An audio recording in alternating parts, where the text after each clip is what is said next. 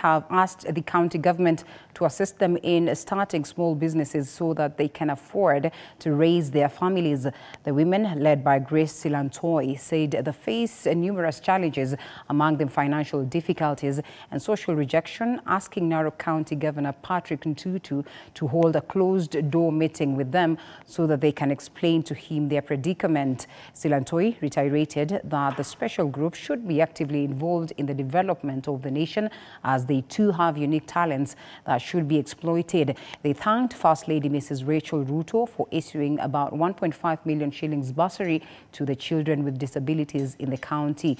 Tupunya said the motive motivated the group that had felt neglected for a very long time. Her sentiments were echoed by Mercy Naisia and Anastasia Linoi, who called for inclusion in the development agenda of the county.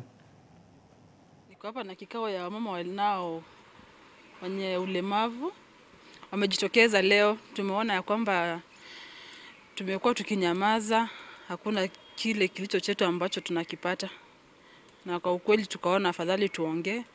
kumusia hali yetu kama wamama na yale mambo yanayo na yale mashida ambao wa- wamama walemavu tunapitia, na zaidi ya yote tukiongelea katika, katika nchi yetu ya Kenya, tunafurahia sana wakati mama Recho kama miaka mitatu iliyopita alitushughulikia kama wamama walemavu wa Narok. Tulikuwa kazi ambayo alikuwa ametufanya ametupea, tulikuwa tunafanya kazi ya ushonaji mats, na ilitusaidia sana.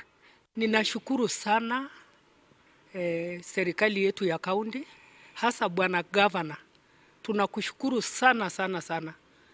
Tunasikia hapa na pale kuna miradi mingi unafanya, na hizo zote ni za kutufaidi sisi kama wanakaunti. usitusahau, tuongeze hata zaidi. We are the leading county Kiara Piani. Eh, sifa yetu imeenea kama moto, ni kazi nzuri unafanya. Pongezi, kongole bwana governor. Well, news now takes a quick break and we're back with more news, so don't you go anywhere.